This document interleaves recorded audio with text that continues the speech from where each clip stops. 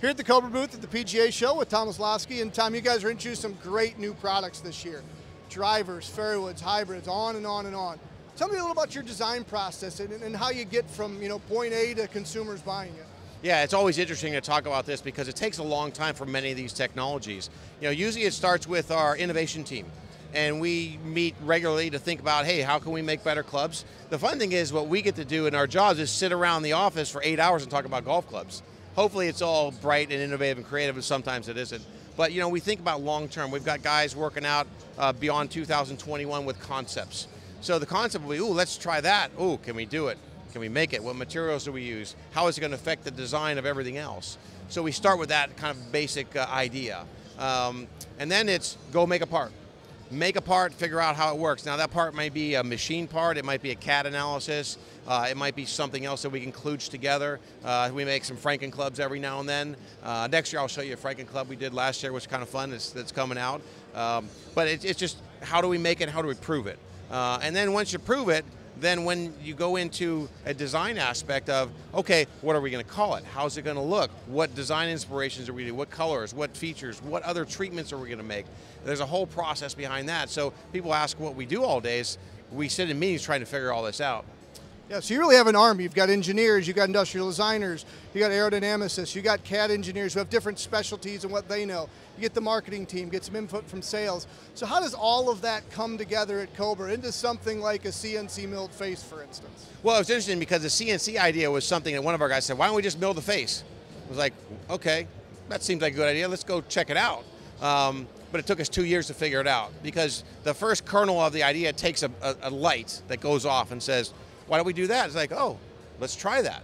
So we like to look at lots of ideas from different places, but the hard work then is the real engineering and process work because the idea took a minute, but it took us two years to figure out how to get it into production. So that's going back and forth, making a few parts, saying, ooh, the CTs are bad and the process is bad, and these castings from this guy is different than this casting from this guy. And so there's all this process work, and that's the hard work, the hardcore engineering and development that we do day in, day out. And a lot of it is working with our vendors in Asia, working with experts around the world in different fields. So you're trying to pull it all together at the same time. So our industrial designers are working on paints and finishes and treatments, and our process engineers are working on this process with the vendors and what are the machining rates and what tools and coolants and everything else. And then we look at, you know, how do we bond that carbon crown on? How do we install the weight? How do we design the back? Now that we have a CNC milled face that we can make a smidgen thinner, how do we then go make sure the CTT is accurate and the COR and all those things? So, uh, and what about face roughness? Oh, what about that? And then the marketing and ID guys come and said, well, how do we want to make it look?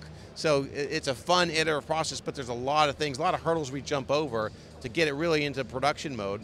And the other thing that I like to call, and you probably have a similar term in, in your lexicon, is you know at some point we got to get it on the train.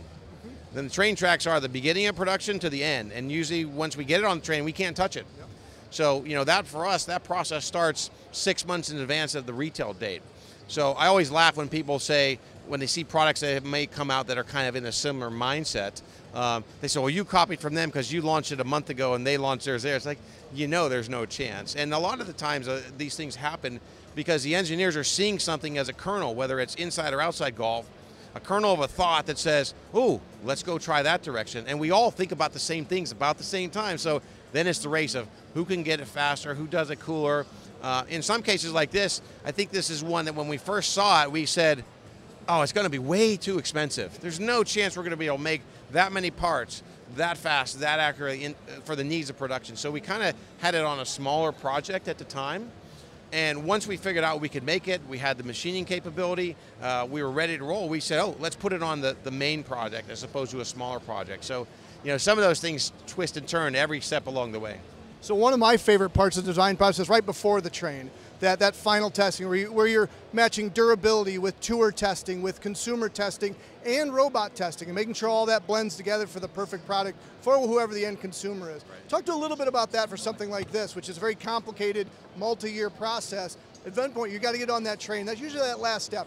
Does this do what we want to do? Is it world class? Exactly, because then you go in and do real world testing you know, you're always crossing your fingers because you say, hey, everything works, our internal testing is pretty good, let's put it out there and see what it does. So with the F8 driver with the CNC mill face, we got great results on our traditional yearly testing. But usually, you know, we always plot these things and say, how many decisions do we make way back here versus right at the end? As always, they're all right at the end, you know, and they're all the critical ones uh, because drive your costs, your producibility, your sex appeal and marketing appeal, uh, and how well the product performs. So you got to get them all right, or as many right as you can.